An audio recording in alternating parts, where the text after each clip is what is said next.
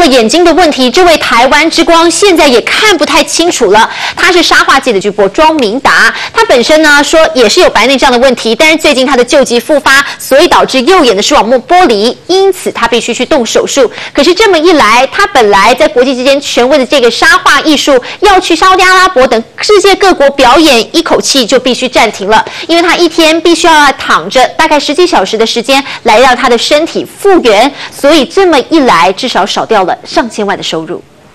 我做了两个手术，拿下眼镜，沙画家庄明达的右眼还明显红肿。像可能一公分、两公分那么大的字啊，我必须可能要五公分那么近才看得到。呃，各位观众朋友，大家好，我是庄明达。这是庄明达九十八年为了替八八风在募款上的综艺节目。仔细看，庄明达出场时右手还包着纱布。一天要讨论那个内容的时候，出了车祸，手缝了九针。那时候也有震震动到，就整个视网膜就整片掉下来。一场意外让庄明达的视力变得模糊，幸好车祸后手术成功。不过今年二月份，庄明达又发现视力变得模糊，二十三号动了眼部手术，医生交代要休息两个月，他也因此推掉许多活动。在三月初的时候啊，有一个沙特阿拉伯的一个影片制作，好像剩三集的的那个内容要做，这样的态度。年代选吴强、郭宗瑞台北采访报道。其实有点看不清楚，但是沙画大师他的表演艺术仍然是让大家赞叹。接下来我们就让你看清楚他的沙画艺术如何扬名国际。庄明达其实他的际遇也非常的有戏剧性，因为一开始的时候他退伍的第一份工作是电视台的美术指导，因缘际会呢，他后来在厂商应邀的人体彩绘表演艺术上面也闯出了一片天，包括舒淇都曾经是他的作品之一。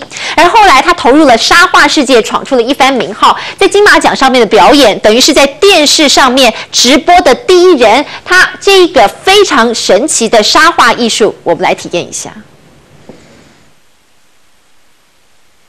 手一抹优美的田园风景，变成倚望窗外慈祥老婆婆的脸，再用指头一勾一勒，又成了父子相拥的温馨画面。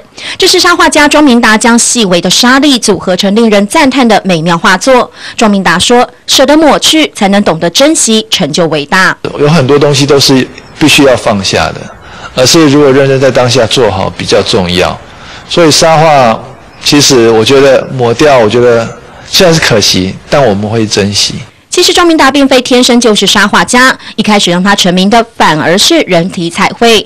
庄明达原本担任的是电视台的美术指导，一九九四年替法国酒商举办记者会之后，意外在中港台掀起一股人体彩绘风潮，出过书，到各处演讲教课。直到两千零二年韩国世界杯足球赛的一段沙画影片，让他一头栽进了沙画的世界。两千零七年获邀在金马奖颁奖典礼上表演，更让他成了电视上实况表演沙画的第一人。那在全亚洲算是最早的，人才也是亚洲最早的。应该没有人做的比我早，或作品比我多，应该不会有。什么都要做第一，让庄明达在沙画的领域里成了亚洲第一把交椅。五颜六色的细沙是他的画布，手指就是画笔，平均每三十秒，庄明达就能创造出一幅全新的沙画。他说，除了过目不忘的本领，让他能瞬间记下任何美丽的图案。小时候家境困苦，更让他想要借由沙画找回失去的温暖。有这么一句话是这么说的：伊丽莎里看世界。对亚洲第一的沙画达人庄明达来说，伊丽莎几丽莎不止带他看到世界，还超越世界。年代新闻杨佩琪、郭宗瑞、顾元松台北报道。